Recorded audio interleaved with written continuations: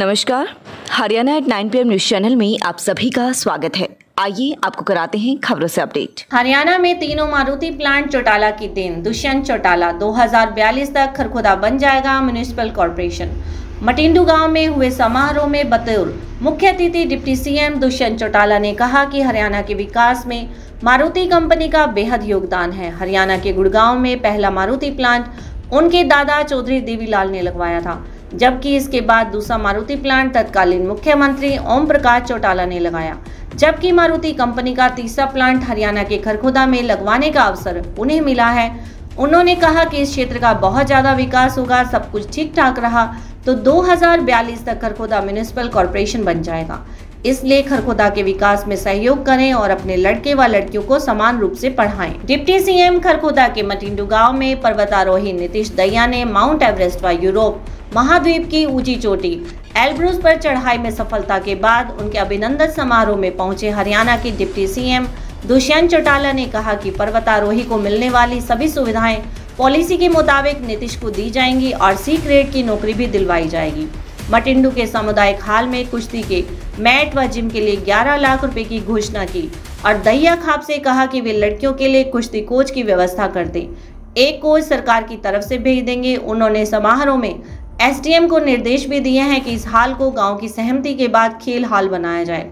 इस मौके पर विधायक मोहनलाल बड़ोली, जजपा नेता के सी बांगड़, जजपा नेता तेलूराम जोगी, पूर्व विधायक पदम सिंह दैया चेयरमैन पवन खरखोदा, देवेंद्र काद्यान, अंजू बाला खटक बबीता दैया कुलदीप दैया दिनेश दैया सोमवीर आर्या, अश्विनी दैया सहित विभिन्न पदाधिकारी उपस्थित रहे। इससे पहले जिन लोगों ने नीतीश दैया का पर्वतारोही बनने में सहयोग किया था, उनको सम्मानित किया गया। के के नौजवान युवा दिया, जिसने केवल मात्र माउंट एवरेस्ट ही नहीं, साउथ अफ्रीका की भी सबसे ऊँची पर्वत पे हिंदुस्तान का तिरंगा फहराने का काम।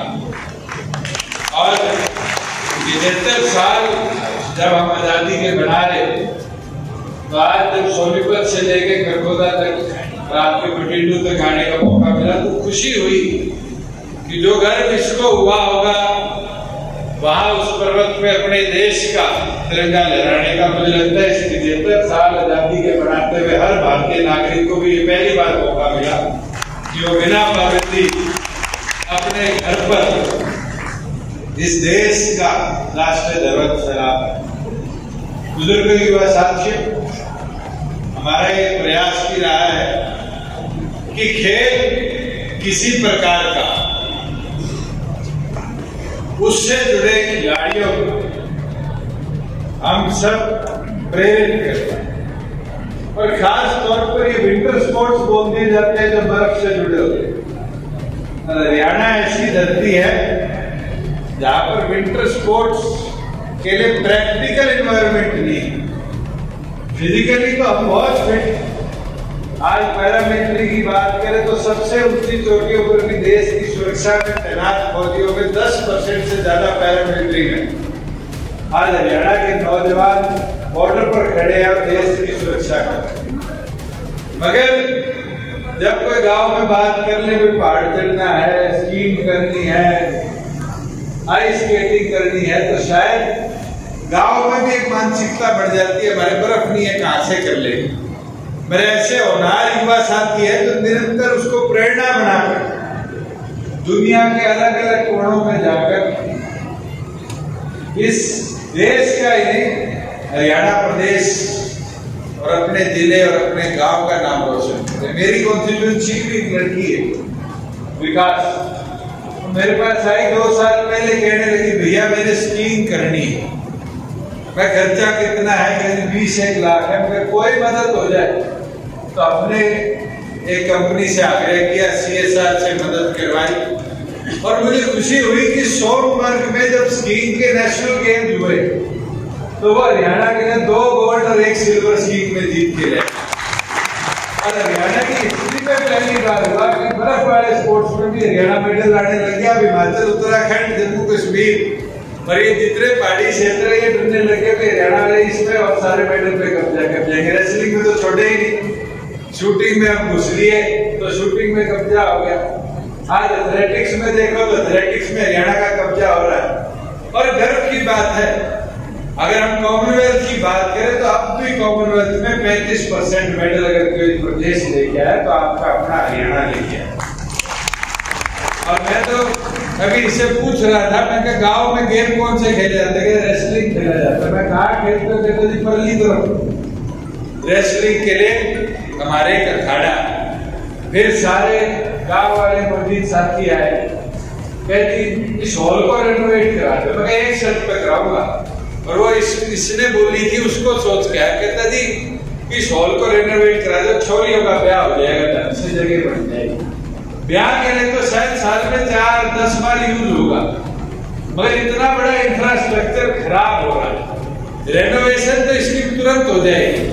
मगर गाँव अगर इसमें सहमति दे कि आज यहाँ रेसलिंग में हमारी लड़कियों ने दुनिया में अपना लोहा बनवाने का काम किया, इसको रेसलिंग हॉल के तौर पे उपयोग करवाया फिर तो मैं इसकी जिम्मेवारी लगाऊँगा कि जहाँ इसको पूरे को रेनोवेट हम एच से करा देंगे वही मैं मेरी डिस्क्रिप्शन से 11 लाख रुपए देता हूँ। इसमें जिम और साथ में रेसलिंग मैट की व्यवस्था हो कि हमारी बेटियाँ स्पेशली इंडोर ट्रेनिंग के साथ अपने आप को उस कॉम्पिटेटिव एनवायरनमेंट में लेके जाने का काम। सहमति है आपकी? नहीं है। बात आगे बताओ सारी।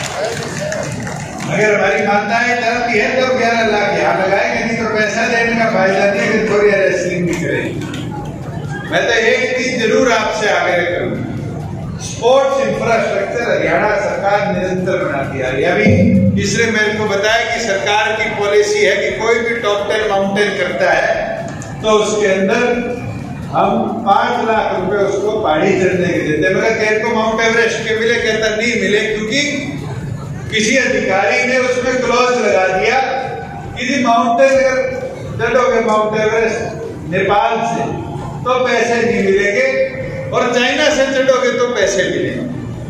अब अधिकारियों का इस चीज़ में तो कोई इलाज नहीं, क्योंकि कागज़ उनने तैयार कर रहे बस ये वादा मैं करता हूँ कि इसके तुरंत वो पाँच लाख ज़रूर, इसी के ही, जो भी माउंट एवरेस्ट क्लाइम करके आया आज तक उस पॉलिसी का उपयोग नहीं करता ये है कि जब मारुति ने पहला प्लांट निर्माण किया गुड़गांव में तो ज़मीन तो देवीलाल जी ने दूसरा प्लांट किया मानेसर के अंदर तो वो ज़मीन चौटाला साहब ने दी। और आप खरखौदा के अंदर जब वो आए तो ज़मीन दिलवाने का काम मुझे मौका मिला है।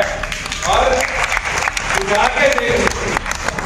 गुड़गांव में 80 एकड़ में छोटा सा प्लांट मारुति का लगा, और उस मारुति से गुड़गांव आज कहाँ से काम हो माने सर तो देश का पहला गाँव है जो सीधा गाँव से म्यूनिसिपल कॉरपोरेशन बन गया। सिर्फ़ इसलिए कि मारुति हीरो के मोटरसाइकिल गाड़ियों के प्लांट ने आकर उस गाँव को शहर से भी बड़ी आबादी के तौर पे डेवलपमेंट एरिया के तौर पे डेवलप किया। और मेरा मानना है, आज आप लिख लेना और एक खास तौर पर जो स्कूल वाले बच्चे लिख लेना। आज दो हज़ार बाईस अगर पॉलिटिक्स में यूँ ही चलते रहे और पॉजिटिवली आपकी सेवा करते रहे तो दो हज़ार बयालीस में खड़ा होकर कहूँगा भी खरगोदा म्यूनसिपल कॉर्पोरेशन के अंदर, अब मंडिंडू को भी, गाँव को भी शामिल करके म्यूनसिपल कॉर्पोरेशन इतना विकास हो जाएगा।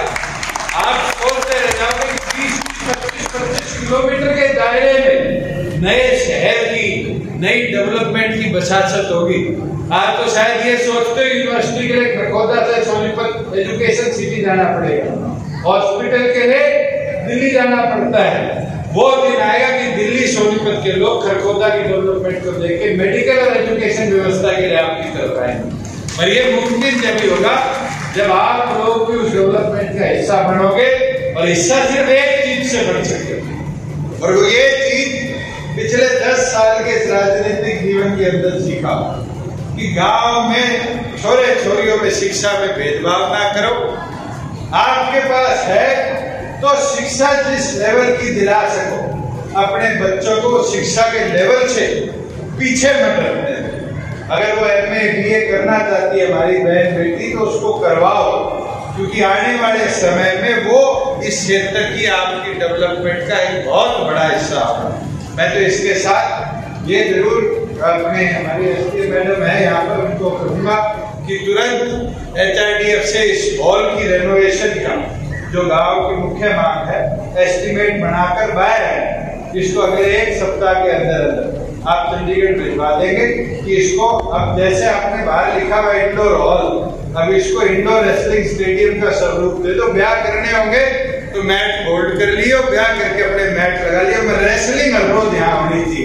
चोरिया यहाँ ट्रेन होनी Tulip hospital Sonipat Are you suffering with diabetes, thyroid, fibrosis, PCOS, acromegaly, endocrine neoplasia growth and puberty related disorders please consult doctor Rajesh Rajput ex senior professor and head department of endocrinology P G I M S Rohtak for appointment please contact seven zero five six five triple one eleven शिक्षा एवं खेलों में अग्रणी संस्थान Pratap school Kharkhoda.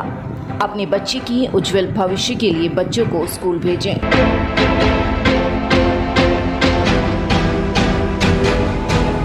देखो, मेरे कार्यकाल में गाँव वालों का बड़ा ही अच्छा सहयोग रहा। उस सहयोग के लिए मैं गाँव वालों का बड़ा आभारी हूँ। कार्य का मेरे गाँव में एक पानी की इतनी बड़ी समस्या थी पीने के पानी की। हमारी पंचायत ने गढ़गांव वाली नहर में कनेक्शन कराया है। लगातार खबरों से बनी रहने के लिए चैनल को लाइक सब्सक्राइब और शेयर ज़रूर करें। धन्यवाद।